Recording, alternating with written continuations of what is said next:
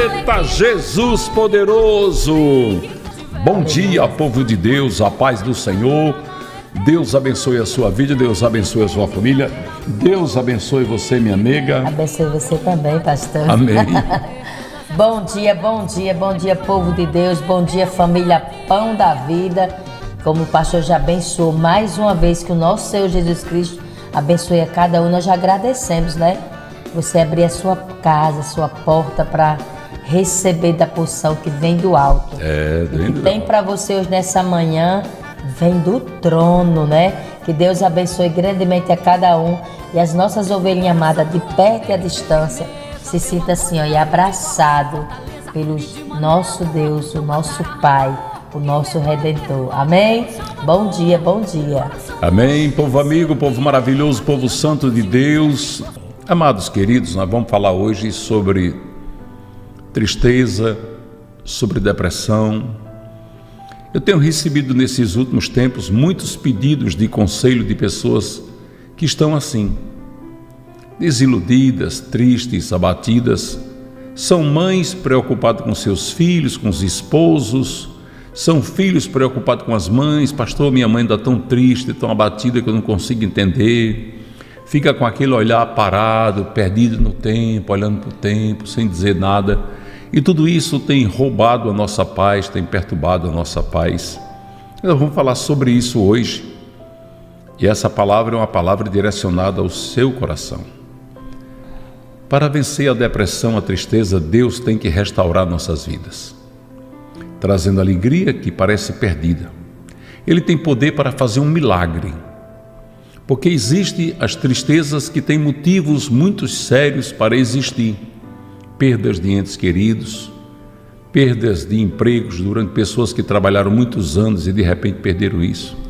Porque para vencer a depressão é preciso ter Deus do nosso lado. Somente Deus pode nos encher de energia, de coragem, de fé, mudar os nossos pensamentos, trazer para nós a esperança de dias melhores é o nosso Deus que, com a Sua palavra, com o seu poder, vai alegrar os nossos corações. E olha que Deus nos chama para sermos também essas pessoas que serão usadas para alegrar os corações. Vamos ver aqui Deuteronômio 31:8. O próprio Senhor irá à sua frente e estará com você. Ele nunca o deixará, nunca o abandonará. Não tenha medo, não desanime. Você sabe que Aleluia. quando a pessoa está temerosa, está triste, está abatida, ela fica desanimada e ela se sente desamparada. A verdade é essa. Quando a tristeza chega, a pessoa se sente desamparada. E quando esse sentimento de desamparo vem da pessoa achando que Deus o desamparou, aí é pior ainda. Né? Veja que Palavras de Jesus Cristo em Mateus 5:4. Bem-aventurados que choram, pois serão consolados. Aleluia. Bem-aventurados os que choram. No Sermão da Montanha, conhecido como o Sermão das Bem-aventuranças, Jesus falou isso para o povo de Israel. Porque o povo de Israel estava chorando muito. A perseguição, o domínio do exército romano, do poder romano sobre a vida deles, muita opressão de um lado, o poder religioso, que oprimia demais, com um jugo muito pesado, do outro lado, o governo romano. E as pessoas estavam tristes, e Jesus diz: Bem-aventurados que choram, porque serão consolados. Isso aqui era um cumprimento, Jesus falando que está escrito na palavra, que o choro pode durar uma noite, mas a alegria vem ao amanhecer. Aleluia. Mas vejam que o Espírito Santo inspirou Paulo a escrever em Romanos 12, 2. Não se amolde ao padrão deste mundo, mas transforme-se pela renovação da sua mente, para que sejam capazes de experimentar e comprovar a boa, agradável e perfeita vontade de Deus. A boa, agradável e perfeita vontade de Deus é que sejamos felizes, sejamos vencedores, é que a gente não baixe a cabeça, é que a gente lute é que a gente saiba que Deus está do nosso lado, como a própria palavra diz, que Ele nos acompanhará, lutará e não nos abandonará. Quando um crente fica triste, ele entristece o coração de Deus. Hebreus capítulo 10, 38, o Senhor diz: O meu justo viverá pela fé. Viverá pela fé. Se ele recuar, não tem alegria na minha alma por ele. Deus está dizendo: a minha alma se entristece com a tristeza do meu justo, do salvo pelo sangue de Jesus. Veja Filipenses capítulo 4, versículo 8. Finalmente, irmãos, tudo que for verdadeiro, tudo que for nobre, tudo que for correto, tudo que for puro, tudo que for amável, tudo que for de boa fama, se houver algo excelente ou digno de louvor, pensem nessas coisas. Você vê que a palavra de Deus Aleluia. manda a gente pensar no que é verdadeiro, no que é bom, no que é digno de louvor. Lógico que para a gente pensar nessas coisas, nesse mundo de imperfeições, de pecados tão terríveis, nós temos que pensar em Jesus. Só Jesus. O nosso pensamento tem que estar voltado para Deus. Nós estamos como Pedro do Mar da Galileia. Estamos navegando num barco, Jesus vem sobre as águas e nós, Senhor, podemos ir ao seu encontro? Venham. E como Pedro, a gente vai sair desse barco e vai começar a navegar. E ali as ondas, olha, e a gente andando Aleluia. ali sobre as águas e aquelas ondas nos açoitando e querendo nos derrubar. Essas ondas são os problemas da vida, são as tristezas, são essas guerras, são todas essas lutas. Se nós olharmos para tudo isso e tirarmos o olhar de Jesus Cristo, vai acontecer conosco o que aconteceu com Pedro. Nós vamos submergir, vamos afundar no meio de todos esses problemas e crises. Nós precisamos estar olhando para Cristo. Nós precisamos entender que vivemos num mundo onde existe muita ansiedade, muita depressão, porque o pecado trouxe isso ao mundo. E o inimigo trabalha com isso. A principal arma do inimigo é a tristeza. E através da mentira ele tem entristecido o coração de crentes, dizendo: Deus não te escuta, Deus não quer negócio com você, para tentar cada vez mais nos distanciar de Deus, para nos abater. Aleluia. Mas a palavra de Deus nos chama para vivermos com Ele e sermos fortalecidos nele. Às vezes, Aleluia. deixamos que a tristeza vença por algum momento e até esquecemos, amor, do que Deus já fez por nós. Esquecemos das bênçãos, das proteções, dos livramentos de Deus. Não, não esqueça disso, o inimigo trabalha aqui, ó. O na campo mente. de batalha do inimigo é na mente. Ele vai trabalhar na nossa mente para tentar desestabilizar nossa fé, para minar nossa esperança, para destruir o sonho que nós temos de um dia estarmos na Nova Jerusalém ao lado de Jesus Cristo. E a gente não pode ceder, não podemos dar espaço a esses pensamentos negativos, porque se dermos espaço, a gente vai perder essa batalha. Mas o Senhor é conosco, a palavra de Deus diz que maior que está em nós do que aquele que está no mundo. E nós somos mais do que vencedores por aquele que nos amou primeiro e quem nos amou primeiro? Deus, porque nos amou antes que nascêssemos. Veja o salmista no Salmo 42, no versículo 11, o que foi que ele escreveu. Tem até um louvor, né? Porque está é. batido a minha alma. Porque você está assim tão triste, ó minha alma? Porque está assim tão perturbado dentro de mim? Ponha sua esperança em Deus, pois ainda o louvarei. Ele é o meu Salvador e o meu Deus. Está vendo o salmista Aleluia. dizendo? Põe a esperança em Deus nosso escape só é Ele. A nossa esperança não pode estar no homem, Nossa porque o homem é frágil, é o homem é fraco, o homem é perecível. Olha Filipenses capítulo 4, versículos 6 e 7. Não andei ansiosos por coisa alguma, mas em tudo pela oração e súplica e com ação de graças. Apresente seus pedidos a Deus, e a paz de Deus, que excede todo entendimento, guardará o coração e a mente de vocês em Cristo Jesus. Aleluia. Glória a Deus. Olha aqui 1 Pedro 5,7. Lance sobre ele toda a sua ansiedade, porque ele tem cuidado de vós. Quando outra versão, todo, Deus tem cuidado de todos vocês. Aleluia. Tá vendo? E deixa eu falar uma coisa interessante. Tem muita gente, presta atenção que eu vou dizer que isso é forte. Tem muita gente que desejaria estar no seu lugar. Aleluia. Tem muita gente que gostaria de ter a unção que Deus derramou sobre a sua vida. Tem muita gente que inveja você só pelo fato de você ser filho e filha de Deus. Às vezes, não estamos satisfeitos com a nossa vida. A gente vive como se tivesse faltando alguma coisa. Mas quando temos Deus verdadeiramente em nossas vidas, não nos falta nada. Mas tem gente que nos inveja assim, que deseja o nosso lugar. Às vezes você está cabisbaixo, está triste. Mas entenda que o Senhor te levantou para fazer a Aleluia. diferença na terra. Deus te levantou para ser cabeça erguida. A palavra de Deus diz que Deus não nos deu um espírito de covardia, mas nos deu um espírito de ousadia. Aleluia! Esse espírito de ousadia é que vai nos dar a coragem para lutar e a certeza Aleluia. da vitória. Tiago capítulo 5, versículo 13.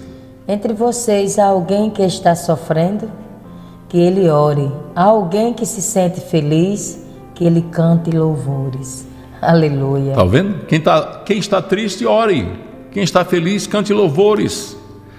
A palavra de Deus vem nos chamar para sermos isso que você está ouvindo. Veja que às vezes a nossa aquele pensamento, aquilo que você está alimentando, aquilo que você está desejando, aquilo que você quer avançar, aquilo que você quer que chegue logo às suas mãos, isso causa ansiedade, entristece a alma. Mas os que esperam no Senhor renovarão suas forças, voarão com asas como águia, caminharão e não se, se frustrarão. É o que diz a palavra em Isaías 40. Veja Provérbios 12, 25. O coração ansioso deprime o homem, mas uma palavra bondosa o anima. Uma Aleluia. palavra bondosa o anima. Quando você vê alguém perto de você triste, dê uma palavra bondosa. A palavra de Deus enche essa pessoa de alegria Aleluia. Olha aqui, Salmo 34, 17. Os justos clamam, o Senhor os ouve e os livra de todas as suas tribulações. Oh, aleluia. Louvado seja o teu nome. Aqueles que são salvos clamam, Deus os ouve e os livra de todas as suas lutas, de todas as aleluia. suas tribulações.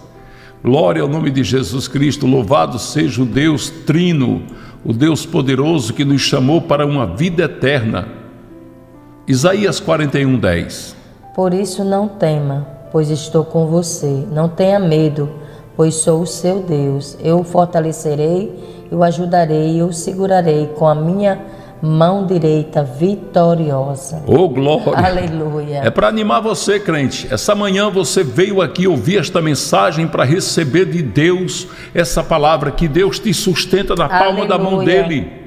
E na palma da mão dele nem tem quem mexa com você nem tem quem tire você das palmas das mãos de Jesus. Tem quem tire? Ninguém. Já pensou Jesus assim com você? Quem é que vai mexer com você aqui? Ninguém. Quem é que tem a ousadia ou o poder de enfrentar ele para tirar você das mãos dele? Ninguém. Aleluia. Veja o que está escrito em 2 Samuel 22, 29. Tu és a minha lâmpada, ó Senhor. O Senhor ilumina-me as trevas. Está vendo? O Senhor ilumina as, as trevas. trevas. E Samuel, ele tinha razão para falar isso, que Samuel era o que acendia as candeias do templo. Aleluia. Quando criança, quando adolescente, ele que acendia as candeias do templo. Mas ele sabia que aquelas luzes era só símbolo do que é Deus. Ele disse: Tu és a lâmpada, minha lâmpada, Senhor. Tu és o Deus que ilumina-me nas trevas. Nos momentos tristes, nas horas que tudo parecia escuro, tenha certeza que Deus é quem ilumina nossas vidas, Ele é quem toma conta Aleluia. de nós, nos sustenta. Olha o Salmo 40, versículos 1, 2 e 3. Depositei toda a minha esperança no Senhor, Ele inclinou para mim e ouviu o grito de socorro. Aleluia. Ele tirou-me de um poço de destruição, de um atoleiro de lama, pôs os pés sobre a rocha e o firmou-me num local seguro. Pôs um novo cântico na minha boca, um hino de louvor aos nossos Deus. Muitos verão isso e temerão e confiarão no Senhor. Aqui o Aleluia. salmista estava triste, mas ele disse: Ele é quem me sustenta, Ele é quem firma meus passos, Ele é quem me tira Glória do tremendal de lamas, Ele é quem me dá alegria. Muitos vão ver o que Ele vai fazer na minha Aleluia. vida e vai confiar nele. Louvado seja o teu O salmista estava aqui já contando o testemunho da vitória. E o crente, que é crente de verdade, ele imita Jesus Cristo, ele agradece antes da bênção chegar. Louvado seja o teu nome. Porque ele sabe que nós estamos realmente fazendo isso. Oh glória! Você sabe que Deus nos chama para alegrar o coração do triste, né? Verdade. Deus chama a mim, a você, a pastora Jossanete, para alegrar os corações que estão tristes. Nos chama, nos chama para fazer uma grande obra. Veja aqui em 2 Coríntios, capítulo 1, versículos 3, 4 e 5. Bendito seja o Deus e Pai de nosso Senhor Jesus Cristo, Pai das misericórdias e Deus de toda consolação, que nos consola em todas as nossas tribulações, para que com a consolação que recebemos de Deus possamos consolar os que estão passando por tribulações. Pois assim como o sofrimento de Cristo transborda sobre nós, também por meio de Cristo transborda a nossa consolação. oh glória! Assim como cresce É o assim. sofrimento, as lutas, mais cresce ainda Aleluia! as bênçãos de Deus. Transborda. Transborda. Aleluia! Palavra boa, hein? Louvado seja o nome do Oh, Senhor. Jesus Esse maravilhoso. que está aí tristinha pensando aí, Jesus esqueceu, ele está dizendo que não, viu? Está transbordando. Já foi dito aqui nessa manhã, louve. Está triste, louve. Ore, clame ao Senhor e diz também que ele escuta, né? É. Ele só não escuta a oração que não é feita, o clamor que não é feito. Aleluia. Olha aí, amor, que palavra Da maravilhosa. restaura, né? É, Salmo 126, versículos 4, 5 e 6. Senhor, restaura-nos assim como enche o leito dos ribeiros no deserto. Aquele que semeia com lágrimas, com cânticos de alegria colherão.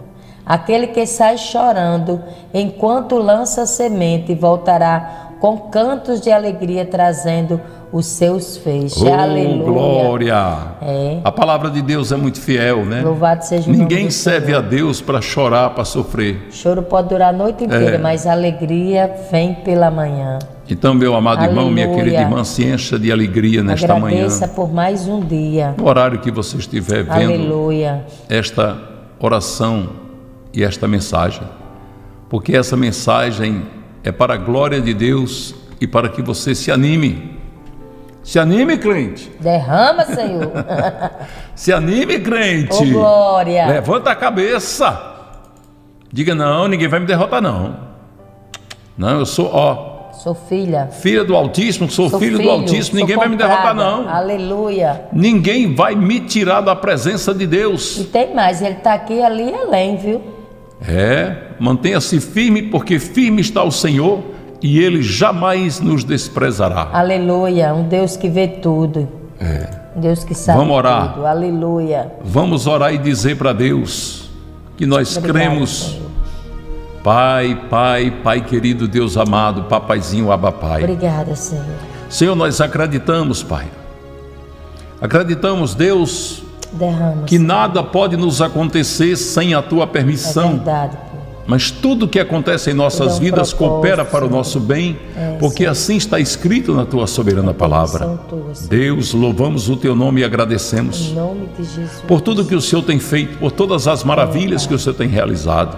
Recebe, Ah, Pai. Paizinho querido, Deus amado, Deus maravilhoso. Sim.